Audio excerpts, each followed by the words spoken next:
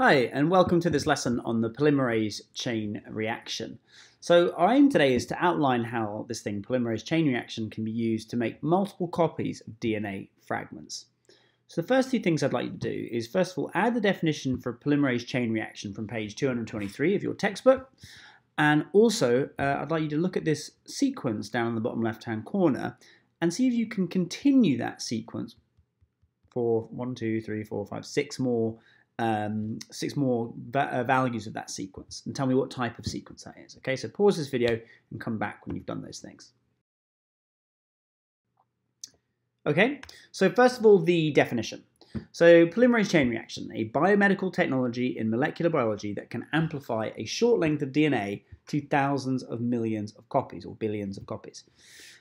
Um, and then the sequence should have continued like this, and that's a geometric series, and it's showing exponential growth. That's something which we uh, should be quite familiar with at the moment, uh, and the numbers quickly become very large.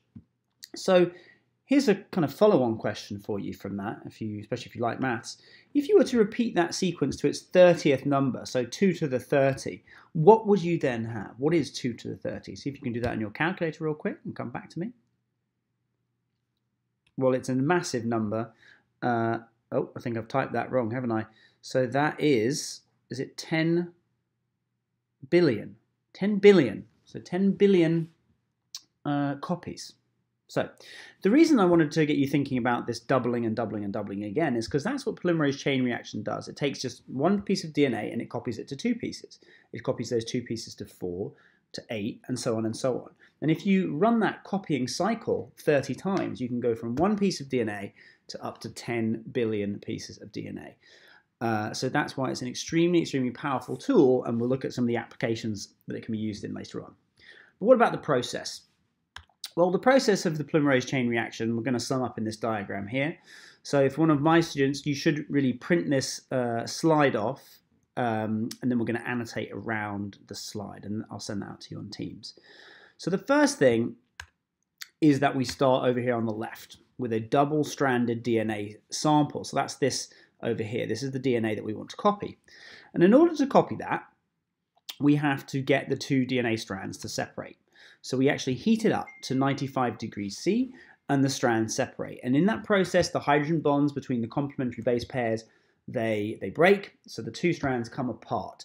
Now, eh, in cells, when we're copying DNA, we'd have things like helicase and gyrase to, to unwind and then unzip the DNA.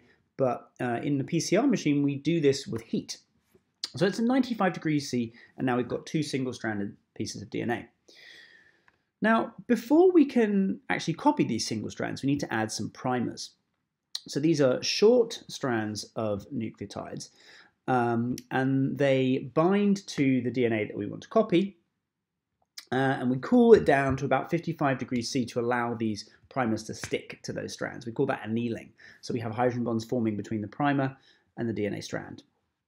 So now the primers are attached to the, to the, to the sequences of DNA that we want to copy. And we purposely designed the primers so that uh, they attach to the sort of opposite ends of the strand, of the part of the DNA that we want to copy.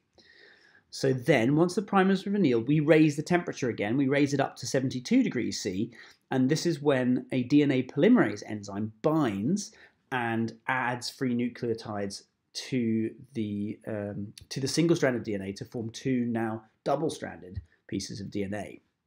So that would look a bit like this. So here's a, um, a little GIF of a, a, DNA polymerase enzyme. We can see it's adding those free nucleotides, it's making those um, phosphodiester bonds down the backbone. Remember the hydrogen bonds, the nucleotides, they just kind of float in and those hydrogen bonds form spontaneously uh, if the temperature is low enough, but the uh, polymerase enzyme is making the phosphodiester bonds as it goes. Okay, so that's the process in outline. Uh, and what I'd like you to do in a second is to make some more notes on that. But first I wanted to mention that this whole process uh, is an automated process and we do this in a lab and it happens in a machine called a thermocycler that looks a bit like this up here. Uh, and you sort of program in all the, the the kind of temperatures and the times that you want, and it just runs round and round and round this sort of loop. And typically it loops 30 times um, before your DNA is kind of copied or amplified to the level that you want. So I'd like you to watch this video now because I think it's a really good one to uh, kind of see this process happening. Uh, so I'll put this link in the description for the video below. So watch that and then come back to this video. What I'd like you to be thinking about specifically is how much of the DNA sample is actually copied and how do the primers that we use direct what sequences are copied when we do PCR. So watch that video and then come back to this one. Okay, so hopefully you watched that video now. Hopefully you found it useful. So I think these were two bits of the video that I quite liked here because it, it shows you that once you copy the DNA a few cycles in, you get more and more of the um, this type of DNA here, where the level, the part of the DNA that is copied is directly between those two primers. So you get this bit here and this bit here. And eventually after sort of cycle 25, um, copies of the target DNA, that is a lot. That's 33 million, I think. Was it 30? Yeah, 33 million. And the sort of variable length fragments, which are things like this, there's only 50 fragments. So, and that's really because the target DNA sequence is copying, uh, doubling and doubling and doubling again. So it's kind of a geometric progression, whereas the variable length fragments um, are only increasing in a kind of arithmetic progression. They're adding two and adding two as opposed to timesing two, timesing two. So, a bit of maths for you there. All right, so now comes the part where you have to uh, just go with me here and do a little bit of oracy practice on your own. Can you describe this whole process using this little image here? So I've given you the image again. I've taken away the information which you sort of noted down and I'd like you to see if you can describe this process either back to me or to anyone around you, see if you can describe it. Try and use as many of these words in the blue box as you possibly can. And so you're kind of practicing saying this sort of stuff that you're really going to remember it um, as well as you possibly can. So pause the video, have a go. Okay, did you give it a go? Did you get all the words in the blue box? Hopefully yes. Um, one more follow-up activity for you. So if you copy these axes in your book, how would the temperature change in a thermocycler over time? So don't worry too much about the timings, just each stage will be a minute or two. Um, but how would the temperature change if you repeated, let's say, two or three cycles? What would it look like? Okay, copy the axes, draw in what the temperature you think would look like, and I'll reveal it to you in a second. Pause the video. Okay, so this is an actual graph taken from the internet of a thermocycler temperature kind of cycle. So we go up to 95 to denature, down to 55 for the primer to anneal, uh, and then we go up to just about 70, 72, depends on the cycler, for the DNA synthesis, uh, and then back again. Okay, so now's an opportunity to go to your textbook, just read over page 22 uh, to 4 uh, and 223 and see if you can add any more detail to this process. Do, do you really understand? I'd like you to also make a short note on what is a primer, this part, and why is it needed. Uh, and also maybe you can go a little bit deeper into Taq polymerase. What is so special about it and where does it come from? That's the bottom of page 223. Okay. So Taq polymerase, hopefully you've done those notes now. If you haven't, do it now. So Taq polymerase, here it is. Uh, that's the protein structure, and you can see we've got lots of alpha helices, uh, got a beta pleated sheet there, that's the yellow. And this part here, this orange, is where the DNA is actually bound. So this is a Taq polymerase act actively um, replicating DNA as we speak. So it's a DNA polymerase enzyme. It's a naturally occurring DNA polymerase enzyme. And it was identified in a bacterium called Thermus aquaticus in 1976. And this is the type of place that Thermus aquaticus lives. This is uh, I think this is Grand Prismatic Spring in Yellowstone National Park. So it's really, really hot. Temperatures you know, in the 80s and 90s uh, sort of degrees centigrade there. So this bacteria is used to hot temperatures. So therefore its proteins are very thermo thermostable. And this protein is stable for over two hours at 90 degrees C, so that it won't denature for over two, two hours. It maintains its enzymatic activity. Um, if you heat it up to about 95, it, it's stable for less long. It will sort of degrade over about 40 minutes. So remember, in, in the thermocycler, we go up to 95 degrees C, but we only have that there for a minute or two, and then we typically work at around 70 degrees C. So you buy this uh, enzyme in little kind of packets like this. So if you're a biomedical researcher, you, you, your Taq polymerase and comes in little vials like this that you can buy on the internet. Um, and Taq polymerase works really quickly.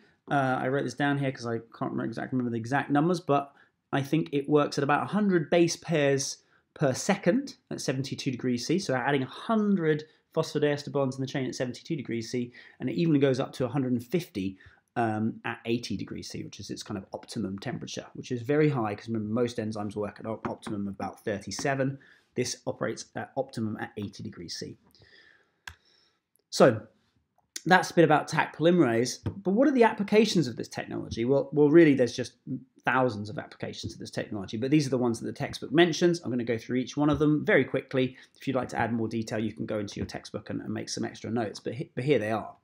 So do a little mind map perhaps in your book, take a, a page or half a page, and here we go. So first of all, tissue typing. So if you want to um, uh, like a new kidney or a, a new, you know, uh, pancreas or something. I don't know, any organ really. Um, it has to match your tissue type. So when you're screening potential donors, tissue typing is, is, is the process. You need to look at their uh, genes and sort of sequence the, uh, the key genes that determine tissue type, and PCR is involved in that process. Second of all, detecting oncogenes or, or, or even uh, sequencing tumors. So this is something that we're doing more and more, trying to kind of target uh, cancer medicine. We're looking at the individual mutations of a certain tumor uh, and trying to figure out what uh, cancer treatments will be the most effective for um, that specific tumor. So to look at the genes of a tumor, first we have to copy them and amplify the, the number of those genes and have enough DNA to work with, and then we can sequence and, and try and focus our therapies. We can also detect other mutations. So this is a, quite a, novel technology. So um, we can look at mutations in, potentially in um, embryos. So uh, a, a, more traditional technology is um, in IVF. Uh, when the embryo is a very small stage, um, something like you know eight to sixty-four cells, we can take a cell from the embryo and sequence the genes in that one cell and then see if there are any mutations. But a new technology is uh, with um, in pregnancies that, that, aren't necessarily IVF, in pregnancies that are already a few months uh, along, we can actually take a, a, blood sample from a mother, a pregnant mother, and using some quite clever PCR, we can um, amplify specifically the the um, the fetal genes that are circulating at a very low level in uh, the mother's blood, and we can actually kind of detect for mutations in uh, any fetus from just looking at the mother's blood. Uh, and that includes chromosomal mutations like trisomy 21 or Down syndrome. So that's really, really interesting technology. I'm not really sure how that works. When you look it up, uh, it sounds pretty complicated to me, but pretty interesting. Here's another one, identi identifying viral and other infections.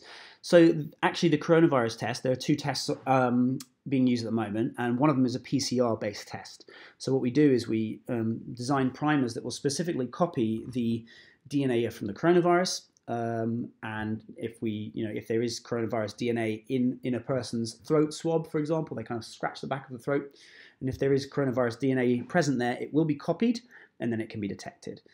The other type is an antibody test that we're working on. And if you'd like to go into more detail about that, i am going to attach this link at the bottom of the video, which is a Scientific American article about the two different types of tests and how they work for coronavirus.